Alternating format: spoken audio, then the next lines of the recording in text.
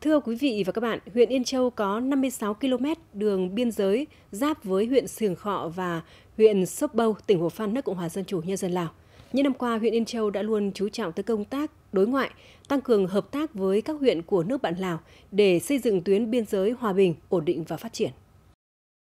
Trên cơ sở nội dung các văn bản ghi nhớ đã ký kết, huyện Yên Châu đã đẩy mạnh tuyên truyền cho cán bộ chiến sĩ và nhân dân các dân tộc trong huyện gìn giữ, vun đắp mối quan hệ hữu nghị và hợp tác toàn diện Việt Nam Lào, thường xuyên tổ chức các cuộc trao đổi học tập kinh nghiệm, triển khai các nội dung thỏa thuận trên các lĩnh vực. Mối quan hệ giữa huyện Yên Châu ờ, của tỉnh Sơn La và huyện Sường Khọ, tỉnh Hủ Phan nước Cộng hòa nhân dân ờ, dân chủ nhân dân Lào thì có mối quan hệ ờ, đặc biệt truyền thống lâu đời thì tổ chức thăm thân tặng quà trong những cái dịp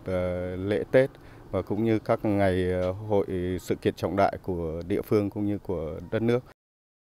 Bản Lao Khô 1 xã Phiêng Khoài và phía đối diện là bản Phiêng Sa, nước bạn Lào đều là địa bàn vùng sâu vùng xa. Phát huy tình đoàn kết, nhân dân trong bản Lao Khô 1 đã có nhiều hoạt động ý nghĩa thiết thực hỗ trợ nhân dân bản Phiêng Sa, nước bạn Lào. Chúng tôi là bản hay bản kinh nghĩa bản bản thì chúng tôi cũng đã chuyển giao tất cả những cái khoa học kỹ thuật mà chúng những cái kỹ thuật mà chúng tôi đã học được uh, chuyển giao cho bạn thì bên hiện tại bây giờ bạn thì cũng đã uh, làm ngô thì cũng à, là uh, ít dần đi và người ta sẽ chuyển đổi cây ăn quả mà có giá trị kinh tế cao. Bây giờ như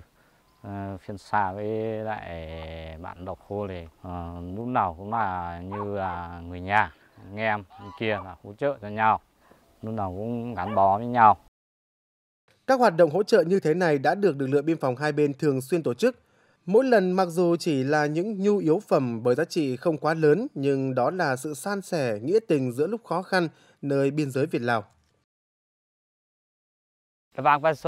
Lực lượng biên phòng và người dân hai nước ở đây từ lâu đã rất thân thiết và năm trở lại đây do dịch bệnh Covid-19 nên khó khăn nhiều, nhưng chúng tôi vẫn thường xuyên được phía nước bạn Việt Nam giúp đỡ. Như hôm nay cũng vậy, những món đồ là tình cảm của các đồng chí biên phòng và của dân bản Việt Nam. Nhân dân hai bên cũng đã à, đồng cam, cộng khổ, chia sẻ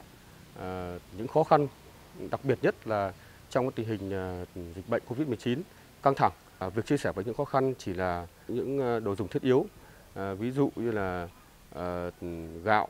rồi là mắm, muối, mì chính hoặc là con gà mớ rau. Đấy cũng là một cái mà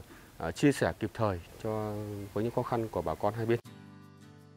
Bằng nhiều hoạt động ý nghĩa thiết thực, tình đoàn kết hữu nghị giữa huyện Yên Châu với huyện Sìn Khọ và huyện Sốp Bâu,